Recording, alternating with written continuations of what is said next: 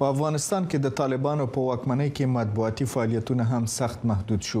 اکثریت رسنۍ بندي شوي دي او په سلګونه خبریالان د افغانستان نه وتلي. یو زیات شمېر یې په اسلام اباد کې دي او نن یې د وضعیت حال د یو ازاد خبریال محمد ظاهر بهاند صیب نه اورو چې موږ سره په سکایپ مل شوی دی. بهاند صیب ستړي مه شئ، تاسو پروګرام ته کاول زموږ لیدونکو ته داسې معلومات ورکړئ چې تاسو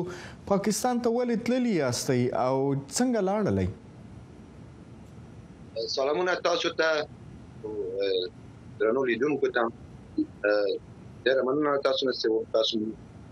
ماته وخت راکړو زه باید تاسو ته وایم چې د خبریالانو ستونزې لکه تاسو څنګه تاسو خپل یادونه وکړه تیر یو کال کې ډیر زیات ستونزمن ده او خبر اژانس په اصطلاح کلونه کلونه په افغانستان کې په بیلا بیل رسنیو کې زیار ایستلی او کوښښ کړی او صدمه لیدلې و اوس دمګړې په پاکستان او داسې نور هیوادونو کې مېشت چې به سنوشت پراته همدا شان په پاکستان کې هم ډیری خبريالان چې به سنوشت پراته دي هاو تر اوسه پورې تر دمګړې پورې هیڅ غږ نه دا ورېدلای چې دا خپل یو لوی ستونزه بلل کیږي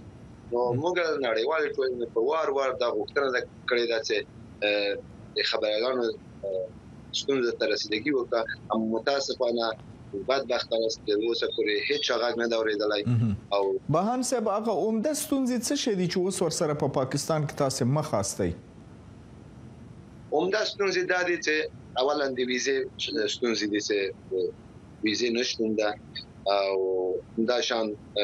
ویزه چې خلاصيږي باید تل سرحد اخو واوري ډیر تراسي دا یو ستونزه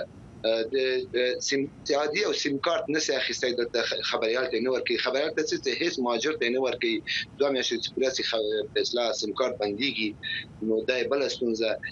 ډاکټر ته سم مراجعه نه سي کړای دا بل ستونزه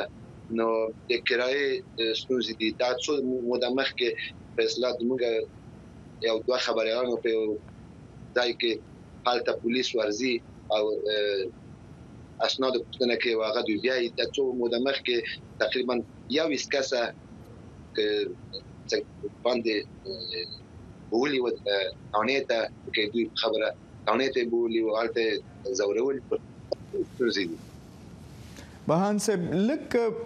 تاسو ته معلومات البته کوسی چې څومره شمیر کې تاسو مجموعاً آلته